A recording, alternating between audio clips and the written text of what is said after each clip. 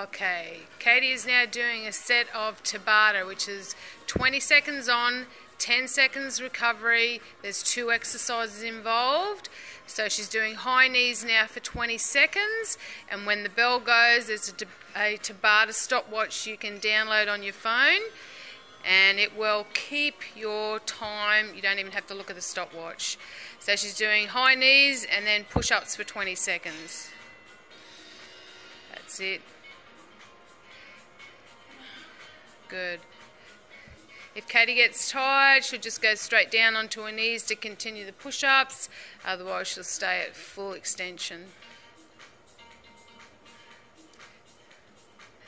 Shortly, you'll hear the bell go again and you go back. There's eight sets. There it is. So you get 10 seconds rest now and then go to back to the high knees. Ooh. There it is.